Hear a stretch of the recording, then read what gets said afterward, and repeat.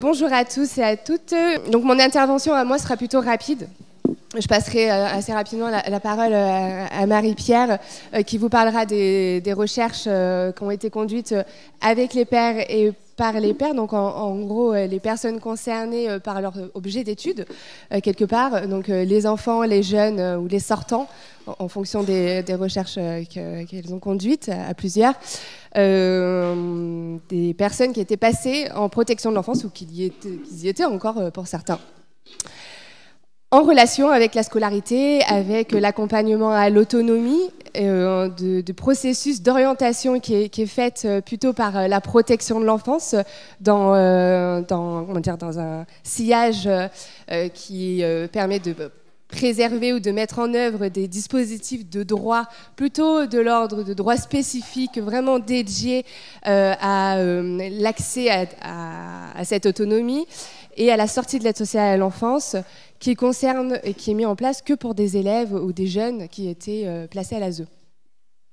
ce qui parfois a pu rentrer en, choc, ou qui l'est d'ailleurs toujours pour certains de ces droits, qui euh, empêche des droits communs pour ces jeunes, euh, d'accessibilité aux droits, droits communs que tous les autres jeunes ont, et euh, d'être en parfaite concordance, si je puis dire, avec les processus d'orientation qui sont mis en place par l'éducation nationale et leurs experts euh, en tant qu'inspecteurs euh, de l'information et de l'orientation, donc euh, qui existent au sein de l'éducation nationale, et de, leurs professeurs principaux, de, des psychologues de l'éducation nationale ou des chefs d'établissement. Enfin voilà, c'est assez une question qui est variée et qui concerne tout le monde au niveau des personnels de l'éducation nationale pour accompagner tous les élèves en, termes d'orientation, de poursuite d'études, d'ambition scolaire.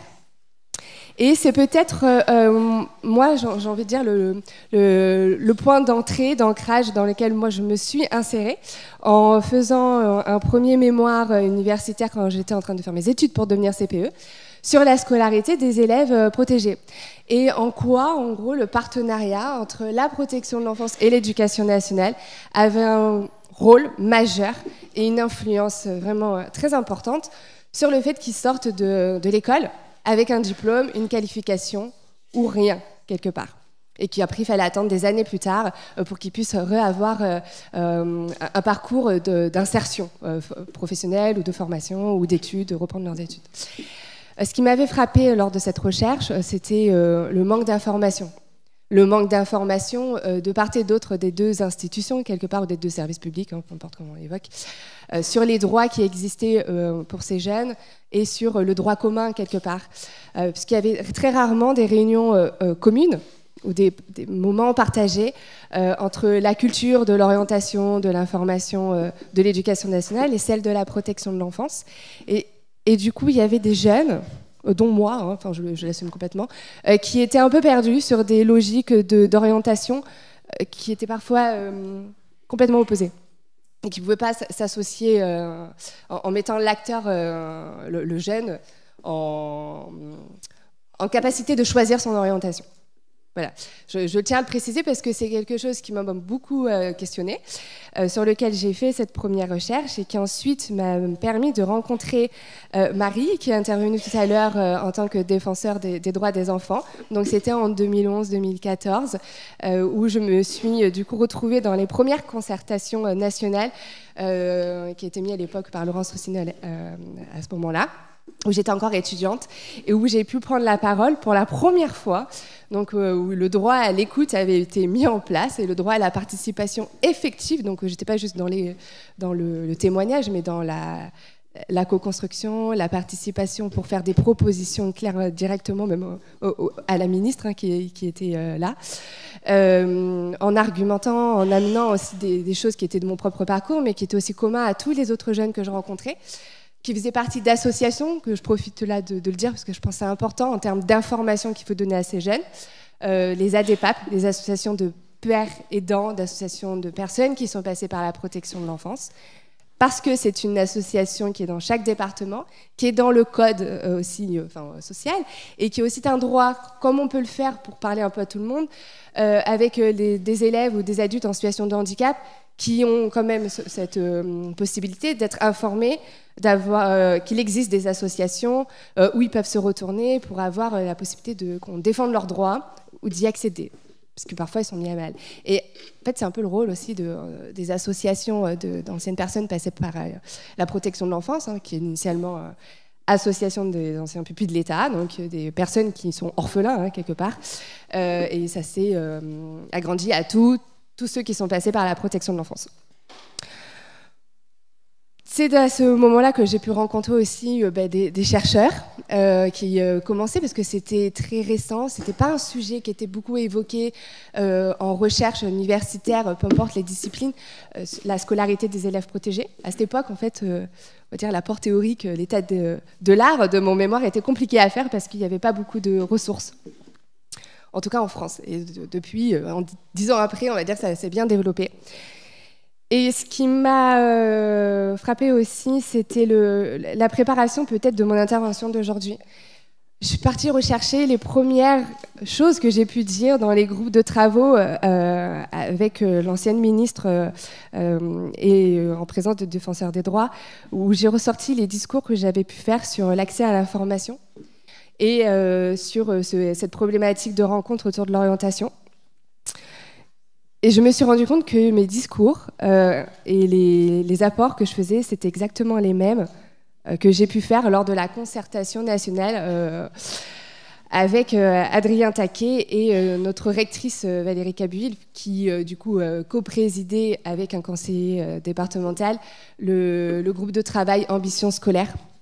Je, tiens à, préciser que ça a été un sujet quand même qui a été repris des années après. 5, euh, 5, ans, 6 ans après, euh, et que c'était la première fois qu'il y avait un acteur de l'éducation nationale qui pouvait entendre les revendications de personnes qui étaient passées par la protection de l'enfance, mais aussi de professionnels, parce que ce n'est pas juste du militantisme. La défense de, des droits, euh, de continuité de la scolarité, d'accès aux mêmes droits que les autres.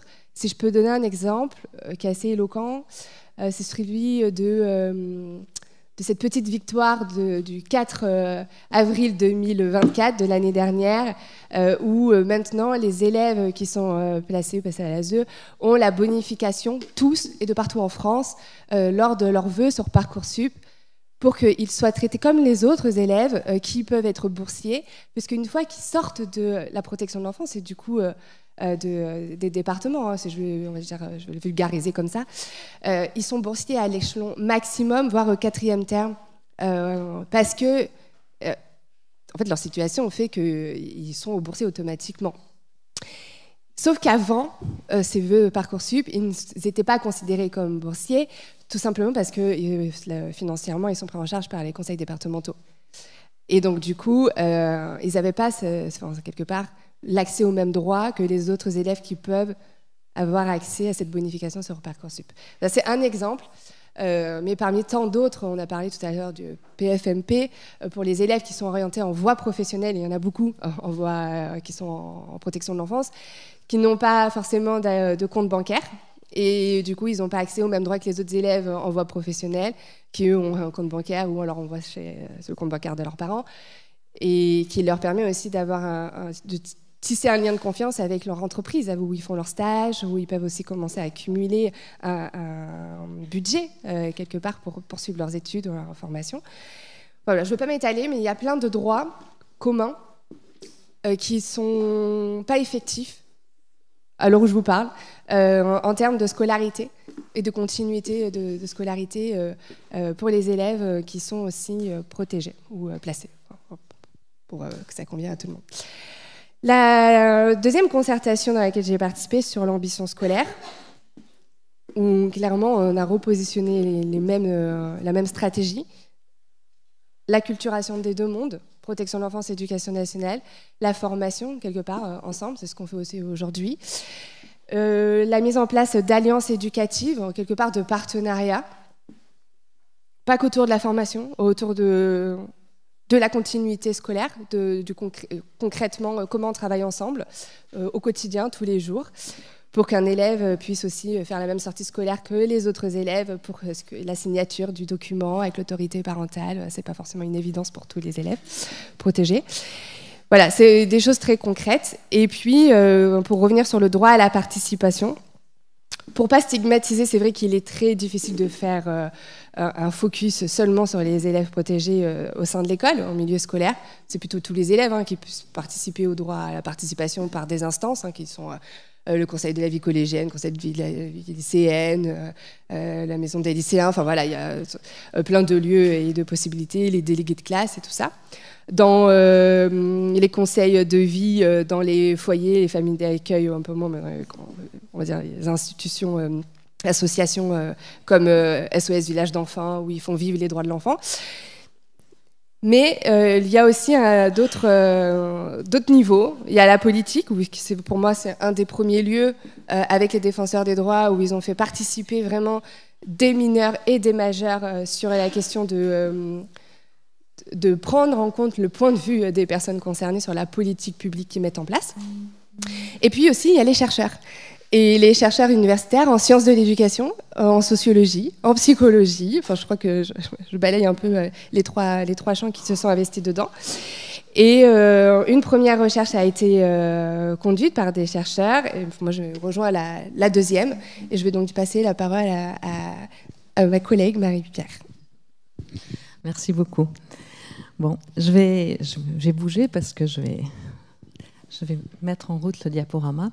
Je suis extrêmement heureuse d'être ici aujourd'hui et je vais quand même prendre le temps de, vous dire pourquoi.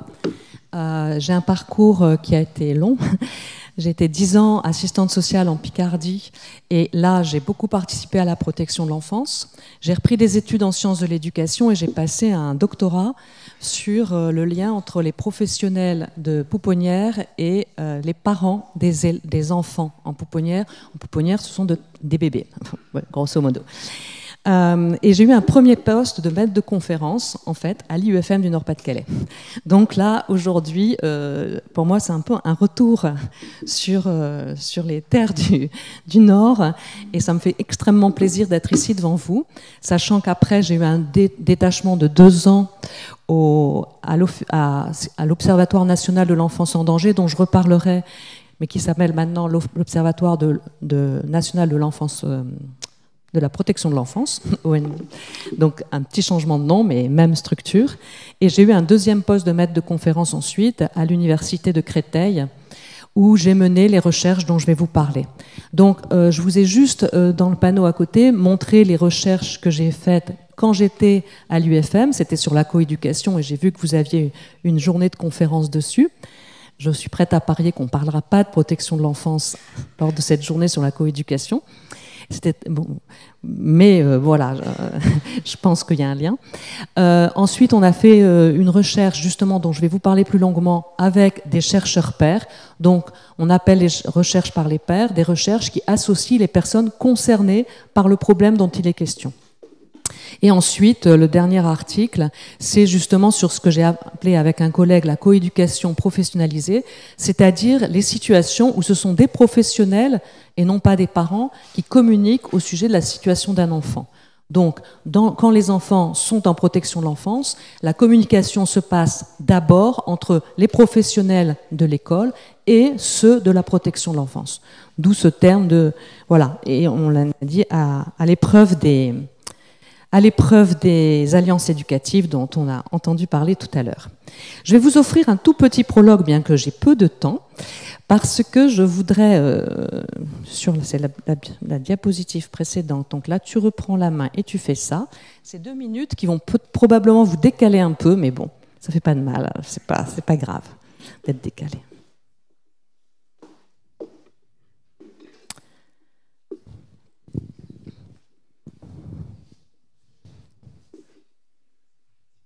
Donc je vous emmène en Normandie, à la vie de château.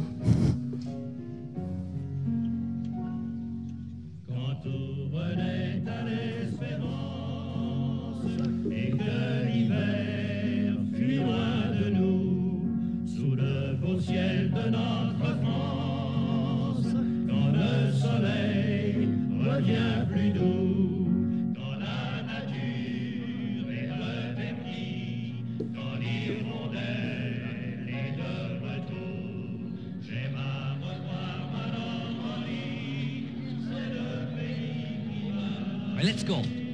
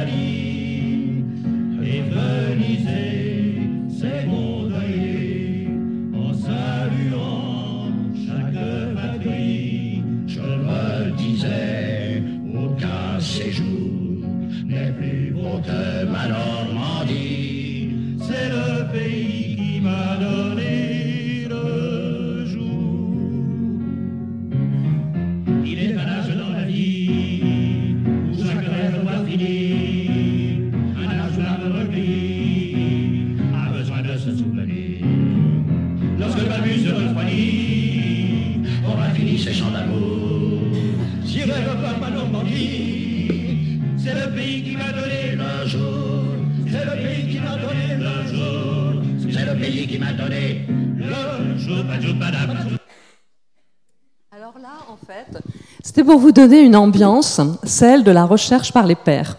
Alors vous dites, c'est la vie de château, c'est super.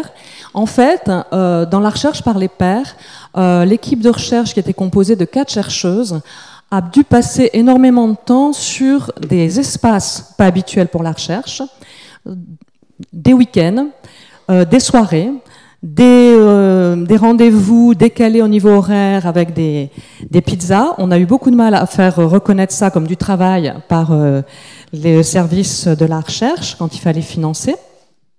Mais c'était les conditions. Et ce qui me paraît très important, c'est qu'on ait cette idée de conditions de la recherche quand on fait de la recherche. Parce qu'en fait, on ne peut pas travailler avec des pairs comme on travaillerait avec un collègue dans un laboratoire, dans un bureau. Il faut en fait un peu mouiller sa chemise et trouver des formes de travail qui sont très impliquantes et qui sont, euh, de ce fait aussi, je, je reviendrai là-dessus, euh, assez épuisantes quand on n'est pas soutenu. Donc on était euh, dans un dispositif où on associait 14 jeunes qui étaient tous des jeunes passés par la protection de l'enfance. Et on a eu comme partenaire ben, l'Office national de protection de l'enfance dont je parlais, les conseils départementaux, ben, ici vous avez deux représentants de conseils départementaux, mais là c'était les Hauts-de-Seine et le Val-de-Marne, et deux institutions, SOS Village d'enfants et les apprentis d'Auteuil. Donc, on, était dans ces euh, réussir à, créer ces conditions de, travail pour pouvoir travailler avec des jeunes. Donc moi, je vais centrer mon propos sur trois points. Les approches participatives avec des mineurs protégés dans les sciences sociales, euh, comment ça s'est construit, un petit peu une petite mise en perspective. Je vais vous présenter trois des recherches dans lesquelles j'ai été euh, participante en tant que chercheuse euh, en protection de l'enfance. Et puis, je parlerai, pour terminer, j'espère que j'aurai assez de temps pour le faire, mais sinon, de toute façon, je laisse tous mes documents à disposition, de la scolarisation euh, des enfants de la protection de l'enfance. Comme ça a été mon job, j'essaye de, vous faire une proposition qui soit utile euh, dans une perspective de travail, d'écriture de mémoire, de recherche. Je pense que c'est le cas de certains d'entre vous ici. Donc la mise en perspective par rapport aux recherches participatives, au début des années 70, donc euh, sur le plan de la mémoire, vous dire après 68, euh, il y a eu un grand développement de recherche participative, mais d'abord en Amérique latine et puis dans le monde anglo-saxon.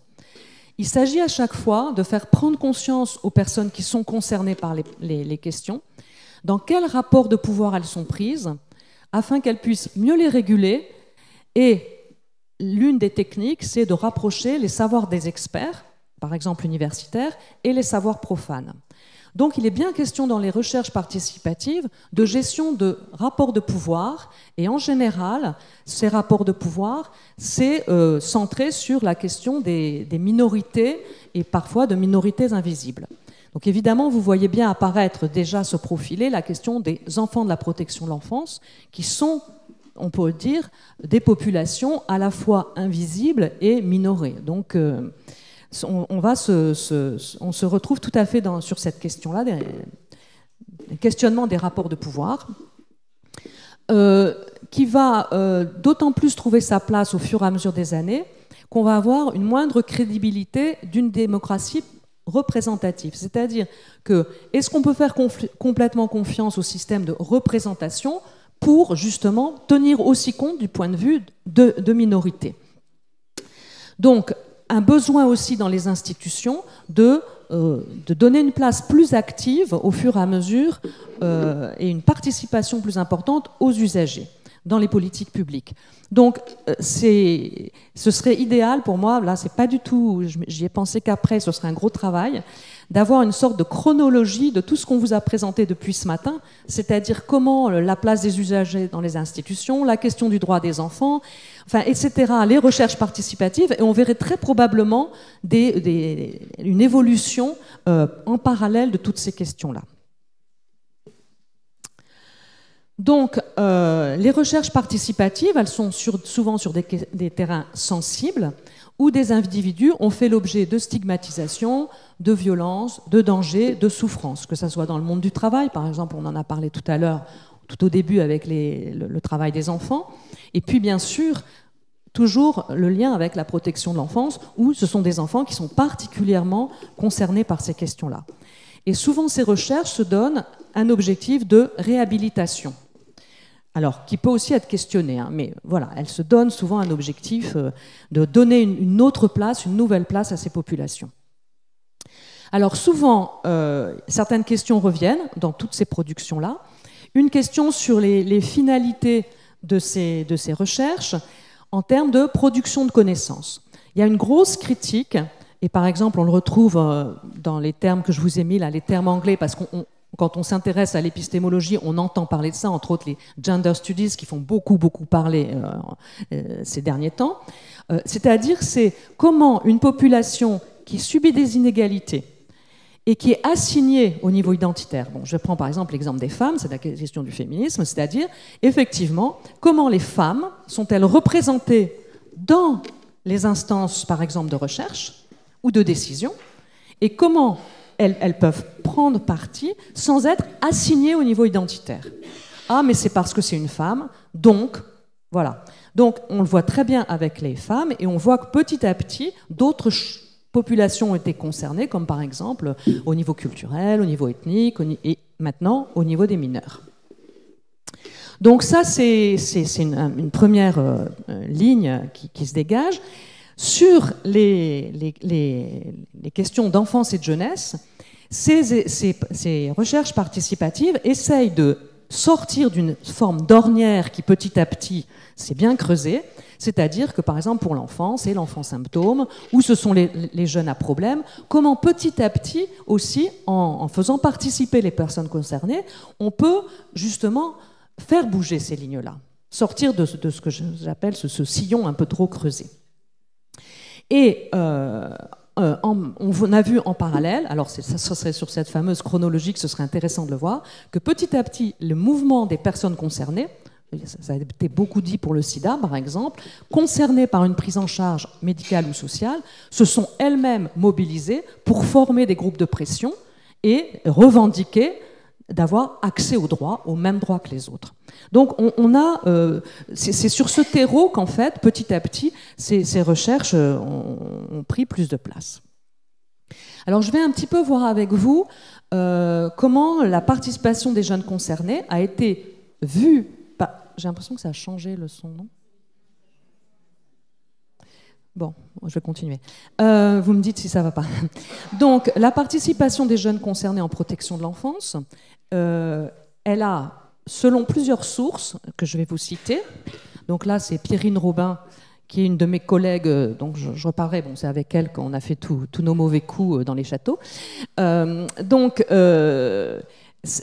Pierrine Robin insiste pour dire, bon, quelle place peut-on donner à ces jeunes au-delà d'une participation à la conduite de l'enquête, parce que dans beaucoup de recherches, en fait, on donne par exemple un rôle d'enquêteur. Donc toute la recherche est conçue par des chercheurs, et ensuite on dit à des personnes concernées par la question, ben, vous allez aller faire les enquêtes qu'on a prévues.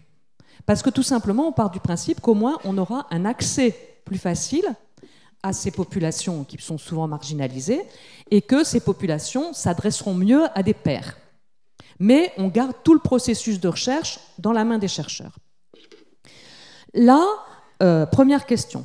Nous, ce qu'on a essayé de faire, c'est d'aller plus loin, c'est-à-dire de rentrer, et vous verrez que ça a été pas facile, dans les systèmes de codification, de catégorisation, d'interprétation des données et de présentation des résultats. Euh, C'était assez ambitieux. Et une question qui évidemment se posait, c'est est-ce que de travailler comme ça, ça donne un processus de recherche fiable et est-ce que les recherches produisent des résultats intéressants? Parce qu'après tout, euh, si on peut y arriver sans faire ça, euh, pourquoi se donner autant de mal à travailler les week-ends, etc., etc.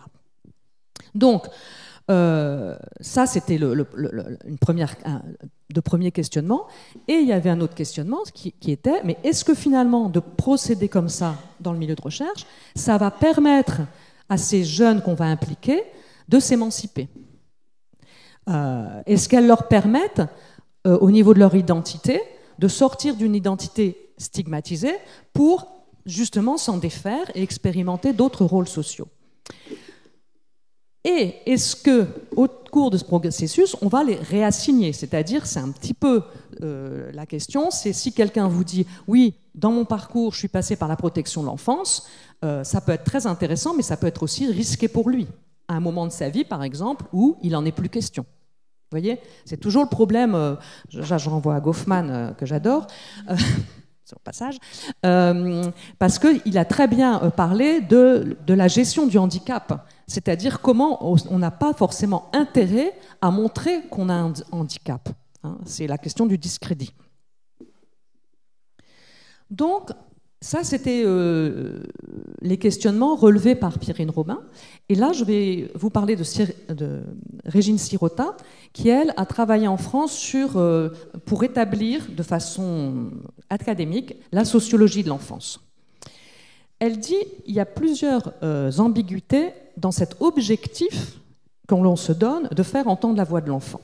Donc, je vous l'ai dit assez rapidement parce que, voilà, c'est pas centralement ce, dont j'ai à vous parler, mais je trouve que ça résonne très bien sur la question justement des droits de l'enfant dont on a- parlé avant et sur euh, le travail que vous faites chacun, euh, même dans les écoles.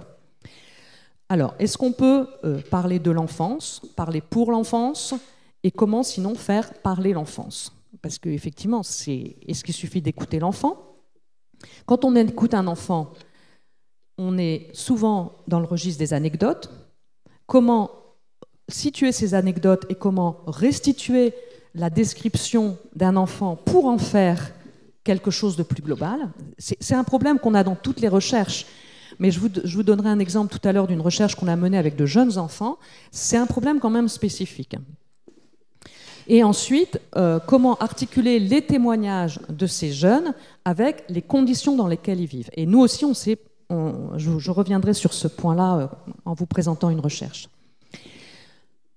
Le, sujet qui a été abordé tout à l'heure aussi, euh, là j'ai repris le terme anglais, c'est ce que fait Régine Sirota de gatekeepers, c'est-à-dire que pour accéder aux enfants, très souvent, vous passez par une institution, donc par ceux qui ont les clés, les clés pour vous faire entrer dans, l'institution. Et ça, c'est un, vrai, pro- enfin, un problème et ça n'en est pas un. Mais peut-être que certains, avec leur mémoire, se heurtent à ça. En tout cas, moi, j'en parlais souvent à mes étudiants. C'est que on, cherche à atteindre les enfants, mais souvent, le gatekeeper va vous dire alors celui-là, oui. Donc celui-là, non, c'est pas intéressant. Oh, puis celui-là, de toute façon, on- il il vous répondra pas. Euh, donc voilà, Je- j'en ai trois qui sont très très bien pour vous. Et toute la question, c'est de dire, ben, en fait, non, nous, on va fixer des, des critères et on va dire, on veut voir ce groupe d'enfants-là. Et on veut tous les voir.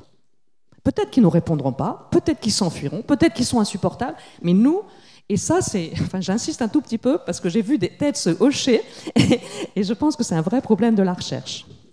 Donc, c'est une vraie négociation aussi avec les terrains de recherche pour que les terrains et les décideurs et les professionnels acceptent cette position-là. C'est donc un, vrai, un des vrais euh, nœuds dans le travail de recherche. Alors ensuite, euh, comment est-ce qu'une fois qu'on entame une recherche avec des enfants, on a à mettre en place des protocoles spécifiques euh, pour le protéger Euh, Au Canada, où ils ont mis ça en place, ça devient extrêmement difficile de faire des, recherches avec des enfants, tellement les protocoles euh, à suivre sont complexes pour que l'enfant ne soit pas maltraité, soit entendu dans certaines conditions, etc. ce qui est quelquefois complètement antinomique avec le fait de recueillir la parole d'un enfant ou d'un jeune. Je, pense à une recherche d'une collègue qui est, partie se balader avec des appareils photos sur les terrains que lui indiquaient les enfants. Ben, à mon avis, euh, ça rentre pas dans les protocoles. hein. Parce que partir tout seul comme adulte euh, euh, sur un terrain à la suite d'un enfant pour prendre des photos, euh, c'est. Donc, vous voyez, il y, a- quelquefois une, tension entre protéger l'enfant dans le cadre des protocoles de recherche, on le voit beaucoup en médecine d'ailleurs, et ce qui est tout à fait normal, ça touche à la santé, etc. Euh, donc voilà, comment on traite l'enfant sur une recherche et faut-il lui proposer des méthodes de recherche spé- spécifiques? Donc, ce que dit euh, Régine Sirota, c'est que euh, euh, les, les recherches en sociologie de l'enfance doivent se poser toutes ces questions-là pour pouvoir finalement être crédibles et atteindre un statut euh, euh, académique euh, qui les sorte des petits objets. Petits objets d'enquête menés par des femmes. Vous voyez, au bout d'un moment, euh, les choses s'accumulent. Alors, il y a un dernier point sur lequel elle, euh, elle insiste, et qui est très intéressant aussi, c'est euh, l'âge des enfants. Parce que, et, et- et je- j'en reparlerai pour une recherche suivante, euh, quand vous avez des adolescents qui ont déjà la capacité de regarder leur passé et d'élaborer un discours, c'est pas du tout la même chose que quand vous retrouvez avec des enfants de 6-7 ans qui n'ont pas du tout le même accès au langage et qui en plus euh, vont vous livrer justement des ensembles d'anecdotes que vous aurez beaucoup de mal à structurer parce que tout simplement, eux ne le font pas. Alors, je vais citer un dernier auteur qui a travaillé sur ces questions-là. Euh, lui, il parle donc d'acteurs faibles. Donc, c'est-à-dire d'acteurs qui sont euh, en fait en situation euh, dominée.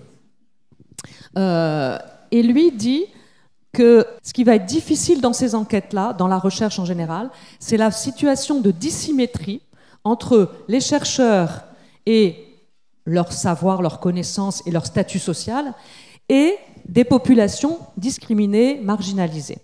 Et que euh, le chercheur va toujours re- être le représentant des normes sociales de, de par ce statut-là. Et comment peut-il, de ce fait, accéder à la parole de, de groupes stigmatisés? Évidemment, la recherche par les pairs est une des manières de défaire ça, puisqu'on va associer des personnes elles-mêmes concernées. Ce qui veut dire quand même que dans cette co-construction, je reprends le mot de tout à l'heure, il va falloir beaucoup négocier pour que, de manière euh, euh, perverse, ne revienne pas la question de cette domination. C'est-à-dire, il va falloir créer, comme je disais tout à l'heure, des conditions, et là, vous les avez. Et c'est pour ça que je commençais par ce tout petit euh, rappel de la vie de château. Mais construire une familiarité, ça ne se fait pas en convoquant quelqu'un derrière un bureau. Donc, c'est comment on construit une réelle fam- familiarité. Euh, moi, quand je parle de ces recherches, je dis vraiment on a fondé des collectifs. Sinon, si on n'a pas l'idée qu'on est un collectif avec chacun euh, un point de vue différent, une expérience différente, en fait, on ne peut pas y arriver. On va rendre compte d'un déni de justice, c'est-à-dire qu'en réalité, on parle de ça. Et on, ne, le cache pas. C'est-à-dire, on va partir d'une situation en, en montrant les inégalités et les effets de ces inégalités.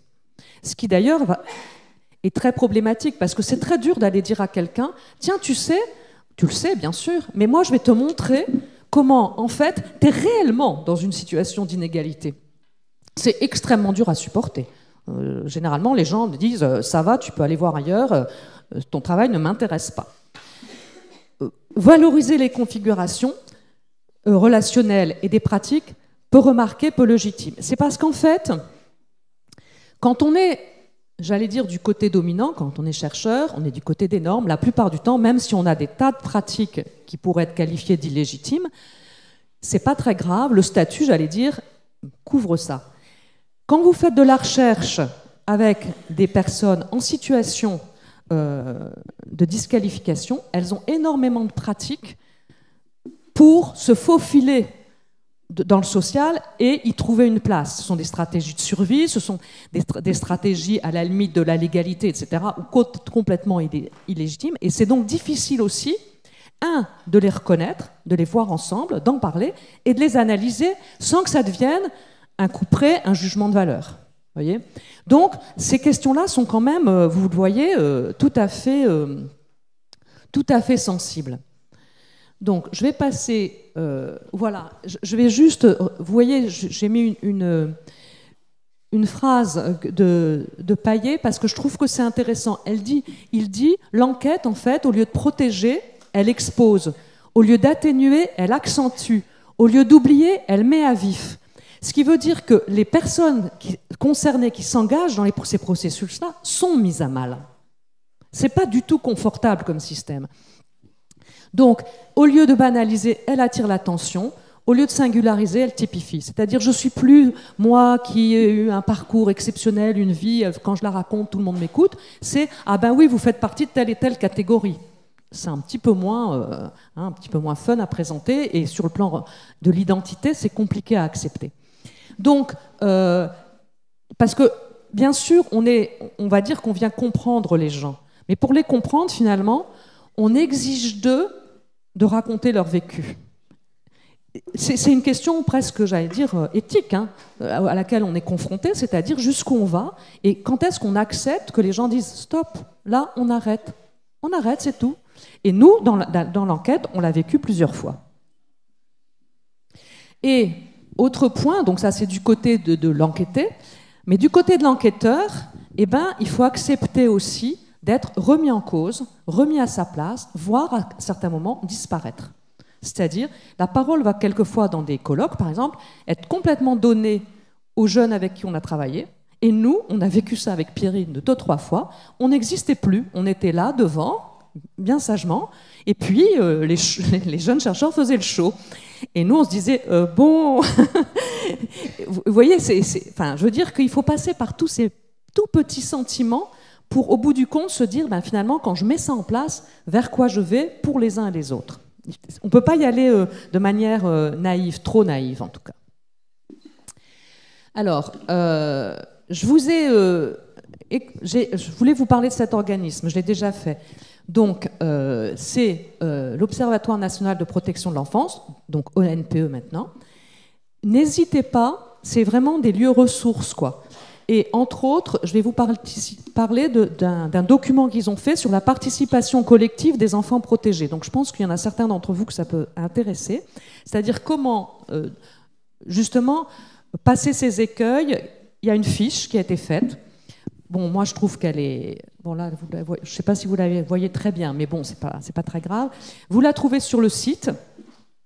Et vous voyez, c'est intéressant parce que on voit euh, des conseils, j'en ai repris quelques-uns, mais qui, qui montrent comment vous pouvez avoir un cadre dans lequel une recherche associant les jeunes se passe. Et en particulier, on voit rythme et durée.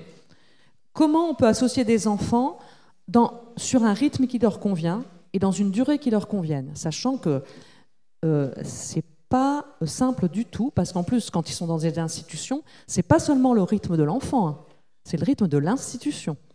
Et quand en plus il y a deux institutions, c'est-à-dire celle de, de la protection de l'enfance plus l'école, et ben pour arriver à avoir les enfants dans de bonnes conditions, c'est une sacrée gymnastique. Donc, et à quel rythme? Parce que les enfants, ben, selon leur âge, ils ont aussi une mémoire euh, qui va pas être la même. Ensuite, il y a une question de lieu d'accompagnement. Par exemple, euh, est-ce que les enfants vont être accompagnés par leurs éducateurs? Nous, on a fait aussi des recherches, on voyait les enfants arriver en taxi.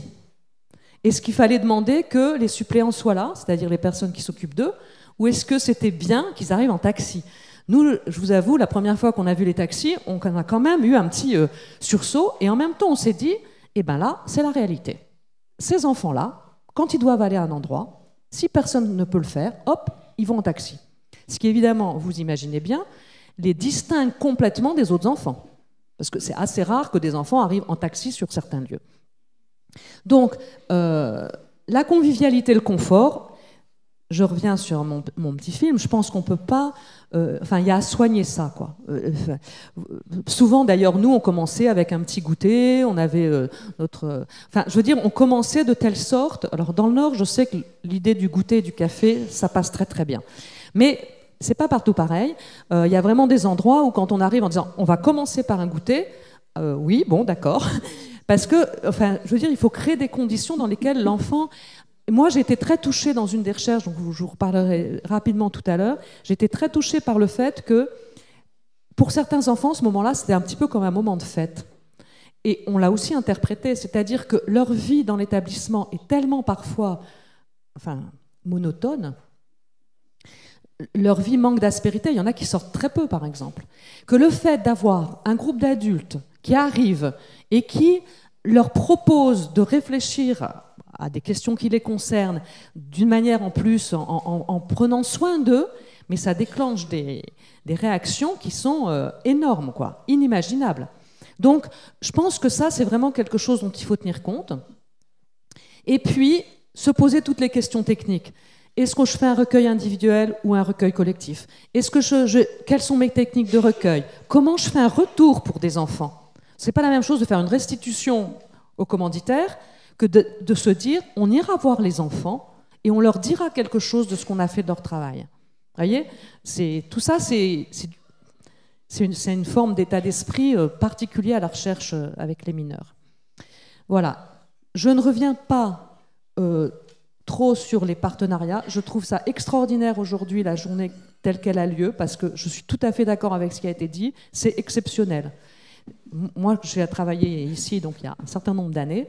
J'étais la seule intervenante à parler de protection de l'enfance de temps en temps, quand je pouvais, mais parler de ça, c'était euh, très très difficile de voir se mettre en place des partenariats.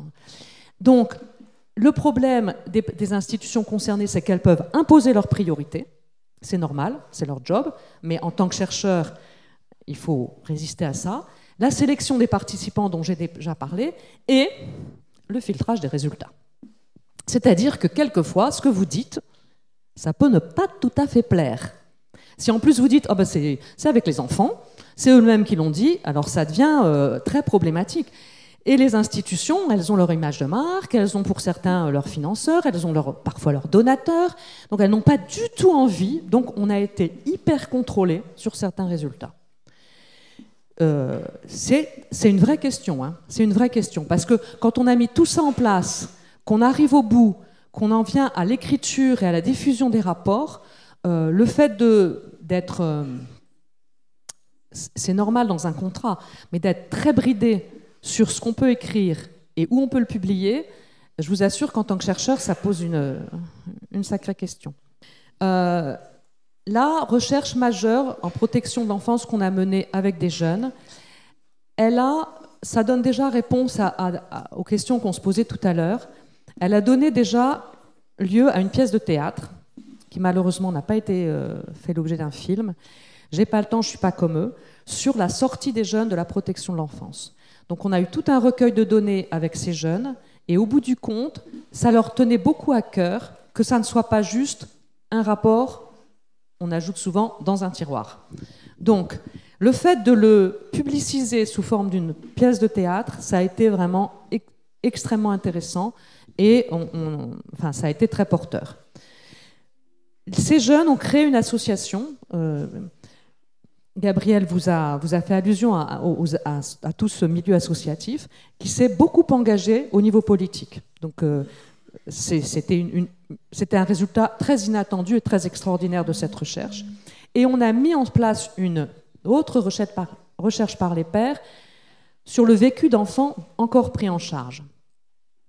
Cette recherche, malheureusement, on en parlait avec Gabriel, elle a été un peu secondarisée, je vais, dire, je vais appeler, non, ça ne va sûrement pas comme terme, mais elle a été, euh, voilà, elle n'a pas eu la place qu'elle aurait pu, parce, pour plusieurs raisons que je vais essayer de donner. Donc là, c'est des, photos sur les ambiances de travail, parce que quand même, dans le château, on travaillait.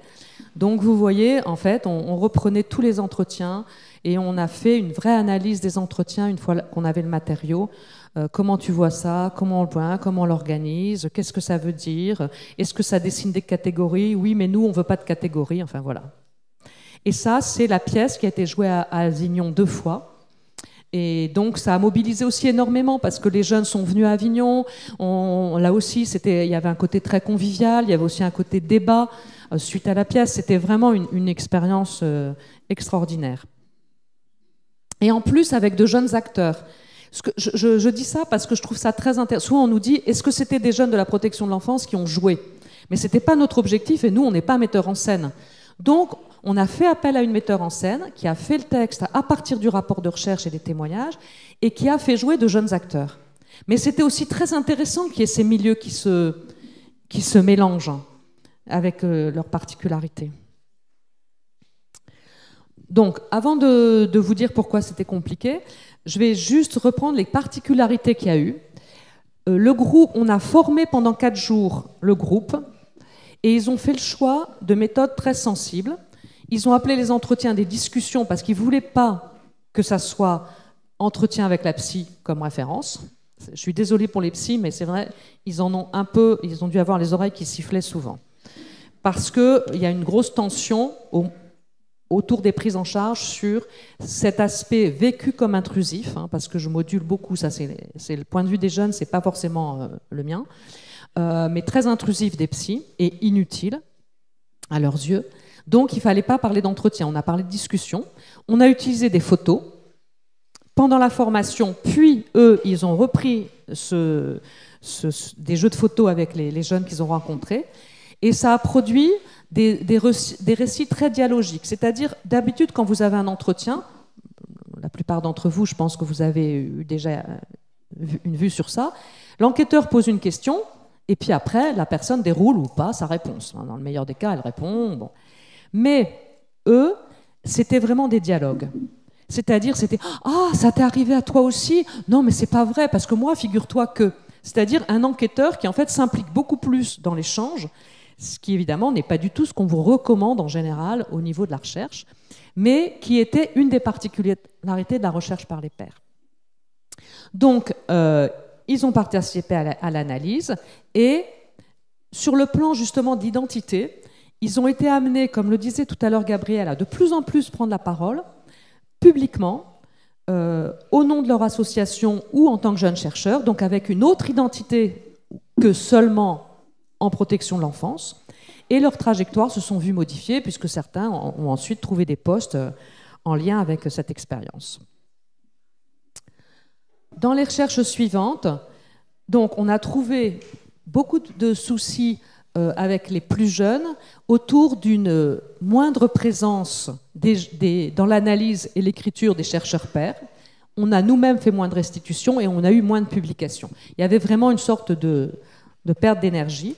Et ce qu'il y a eu d'intéressant, c'est qu'on a fait une autre recherche importante sur la scolarité après, et en fait, on n'a pas associé de jeunes, alors qu'on avait le même partenaire que dans la première recherche.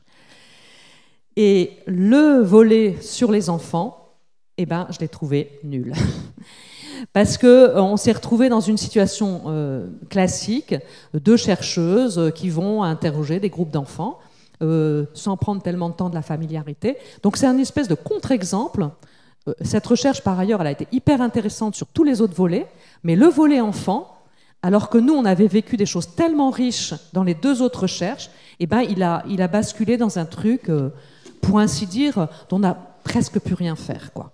Donc c'est intéressant parce que ça montre que quand même tous les efforts qu'on avait faits, c'était pas en vain. Voilà, donc on avait adapté les méthodes, ils ont dessiné les écoles et les collèges, les autres lieux où ils vivaient, donc je passe très vite là-dessus. Euh, je vais passer là-dessus aussi. Je ne vais pas avoir le temps en cinq minutes de vous parler de la troisième partie, les parcours des jeunes placés. Vous l'avez vu avec le début de la matinée, ça a complètement changé dans le paysage. La Cour des comptes, par exemple, en 2020, a pointé des défaillances en matière de suivi de la scolarité des enfants protégés. Et la stratégie nationale de prévention concernant la protection de l'enfance a défini une série de mesures concernant cette scolarité et l'accompagnement scolaire. Donc on est dans un paysage qui est en train de complètement se modifier. Euh, vous avez un très bon document, donc vous irez le lire si ça vous intéresse. C'est la note d'analyse de septembre 2024. J'ai pas pu faire beaucoup plus récent par France Stratégie, et vous avez tous les chiffres, j'allais dire que vous voulez, sur où on en est de la scolarité des enfants. Et tout ce qui vous a été dit depuis le début de la matinée est confirmé. Euh, avec, euh, bon, par exemple, 35% des jeunes sortant de l'aide sociale à l'enfance n'ont aucun diplôme ou seulement le brevet, contre 16% pour des, jeunes de même milieu. Donc c'est quand même des, des, des, chiffres qui, qui, demandent, euh, par exemple, en situation de handicap, euh, y a, bon, ils sont scolarisés de façon... voilà. Je ne reviens pas là-dessus parce que voilà, cette fiche est extrêmement bien faite, donc vous pouvez la, la consulter. Donc la situation est inégalitaire et les points critiques vous ont déjà été soulignés, redoublement plus nombreux, déscolarisation plus fréquente, retard, voilà, je crois que tout, tout vous a déjà été dit, l'orientation spécialisée plus fréquente, une filière de professionnalisation systématisée, un accès limité aux études supérieures et le maintien au long cours dans des emplois disqualifiés. Donc là, on a, j'allais dire, un peu un, panorama en les comparant dans ces études-là aux populations d'enfants qui sont les plus proches de, leur milieu d'origine. Donc c'est même pas la population générale. Hein. Donc euh, une vraie question sociale. Euh, on vous a aussi parlé des, de cette compensation. Je vais, juste, peut-être que même à la limite, je conclurai peut-être là-dessus. Les obstacles sont liés à la trajectoire familiale de ces enfants, en amont d'une part et au cours des prises en charge. Comment euh, cette trajectoire familiale, qui souvent était une trajectoire d'échec, va euh, se enfin, voilà, s'inscrit dans l'histoire de l'enfant, mais aussi dû aux prises en charge. Alors, on l'a dit, est-ce que le placement est long cours Est-ce que le placement est multiple ou stable? Est-ce qu'il est précoce ou tardif? Est-ce qu'il est en famille ou en établissement? Vous avez déjà là quatre euh, motifs, quand ils se cumulent, de d'échec scolaire et de sortie précoce du, système. Et puis, alors là, j'insiste là-dessus parce que c'est très important pour nous tous, c'est croire en la possibilité pour ces enfants-là de réussir leur scolarité, d'arriver au bout, d'être diplômés, d'entrer dans l'enseignement supérieur et d'avoir de belles trajectoires. D'une certaine manière, euh, il faut que chaque acteur se sente impliqué là-dedans. Et donc c'est à notre charge à tous de, voilà, donc vous avez dans la, une dernière recommandation de lecture, la, la, revue de littérature Scolarité des enfants protégés d'Aurélie Picot, 2020, est extrêmement bien faite. Donc vous pouvez aller la récupérer sur le site et là vous aurez euh, par exemple l'ensemble des facteurs de risque et de protection qui ont été repérés par les multiples recherches qui ont eu lieu en France et à l'étranger. Un, un, grand merci Madame Makiewicz.